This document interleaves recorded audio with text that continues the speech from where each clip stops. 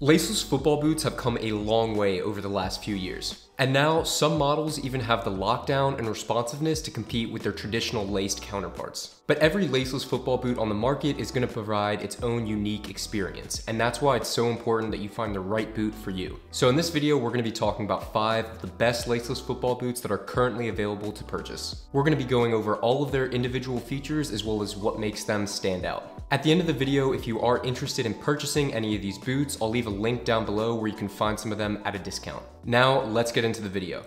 To start our list, we have the Predator Accuracy Plus from Adidas. Now, personally, from an aesthetic standpoint, this is one of my favorite boots on this entire list. It reminds me of some of the more classic Predator models that we saw in the early 2000s. Now this model replaces last year's Predator Edge, which was not one of the most impressive boots that we've seen. The upper used in the Edge was pretty rigid and not supremely comfortable. However, the upper has been a big area of improvement with the Predator accuracy. Adidas have brought back their hybrid touch upper for this new Predator and it feels really soft and comfortable to the touch. But obviously the standout element of these Predators is gonna be the rubber elements studded throughout the upper.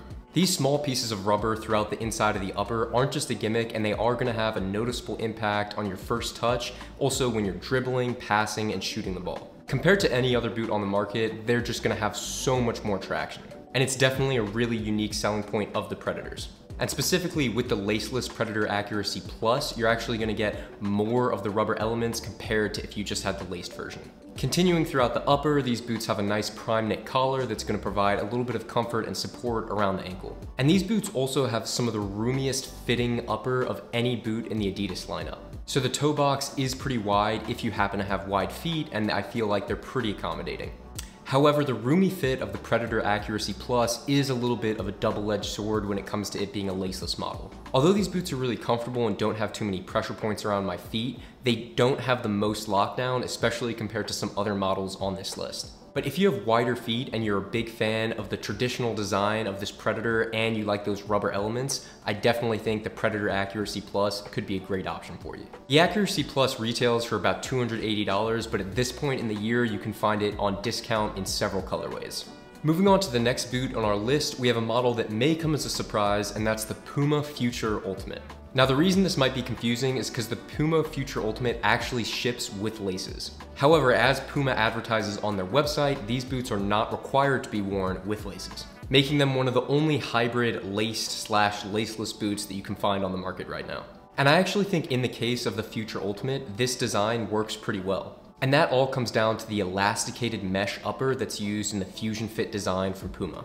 We've seen this elasticated upper used in the Future series for several years now, and I truly think it's what makes this model Puma's most comfortable boot. And beyond being comfortable, it's also very adaptable. Because it stretches so much, it's a boot that's gonna be good for both narrow and slightly wider foot shapes.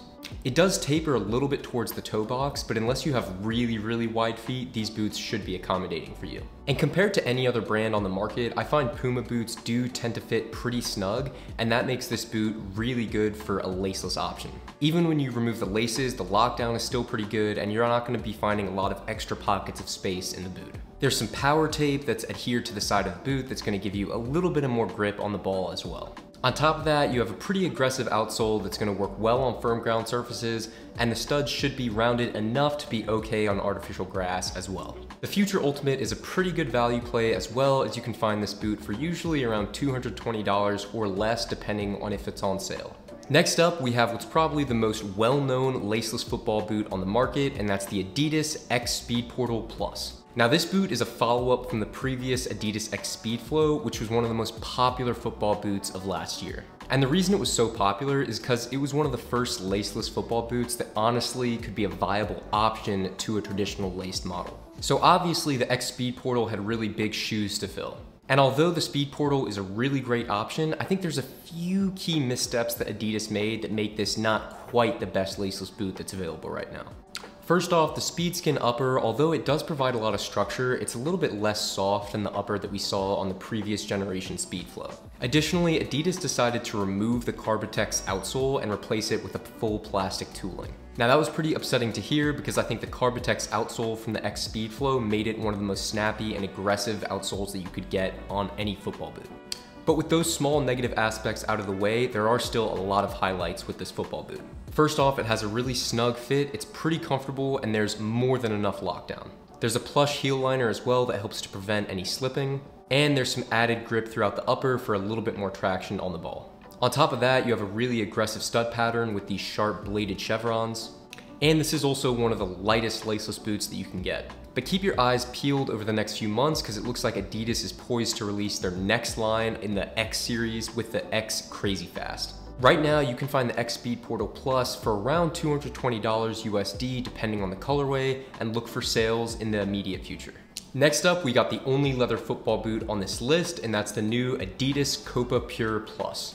Now this boot replaces the pretty disappointing Copa Sense from last year. So a lot of people were looking for improvements from this model. And in my opinion, I think Adidas really delivered on those improvements with the new Copa Pure. The full calf leather upper feels really soft and premium to the touch. And one thing I like is that there's not a lot of stitching on the Fusion Fit upper here, and that means there's not a lot of opportunities for the upper to tear apart at the seams. And this is good news as far as durability is concerned. Then the Fusion Skin upper blends seamlessly into the Prime Knit collar, which provides a lot of lockdown and it's really snug around the ankle. But what makes the Copa Pure Plus a great laceless football boot is that it's really slim, especially compared to other leather variations on the market. And the reason why this boot is so slim to begin with is because it uses the outsole from the previous speed boot generation from Adidas called the Nemeziz. This outsole gives the new Copa Pure a pretty much narrow and streamlined silhouette and it's gonna give it a lot more lockdown and more of a snug feeling. If you want a super wide fit, it might not be the best option for you,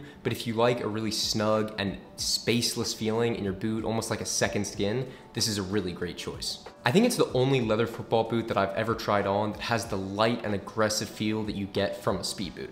And as I mentioned, that tight design really supports the fact that this is a laceless football boot because you get great lockdown and your heel's not gonna be slipping around when you're running. And since it's a leather football boot, you know that the fit is gradually gonna improve with time. The Copa Pure Plus retails for about $280, but depending on the colorway, you can often find it on sale. And finally, I've been saving the best for last. We have the New Balance Tekela V4 Pro. Now simply put, this is just the most comfortable laceless football boot I have ever tried on.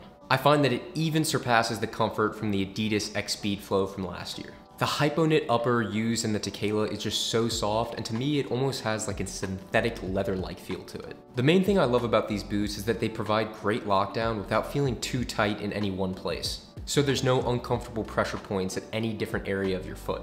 The elasticated collar also adds a little bit of comfort and helps bolster the overall lockdown of the boots. Additionally, there's a soft heel liner included to help prevent any slipping. Then on top of the well-designed upper, the Tekela also has a really unique sole plate with both conical and bladed studs. This is going to provide a good combination of both help with rotational movement from the conical studs as well as more aggression from the bladed studs. And not only are these probably the best laceless boots that you can buy right now, but they're also one of the best value boots as you can currently find the Tekela V4 Pro retailing for around $220 or less. And there you have it, that concludes my list of the five best laceless football boots of 2023. If you've gotten the chance to try on any of these boots, let me know what you think in the comments below. Thanks for watching, and I will see you in the next video.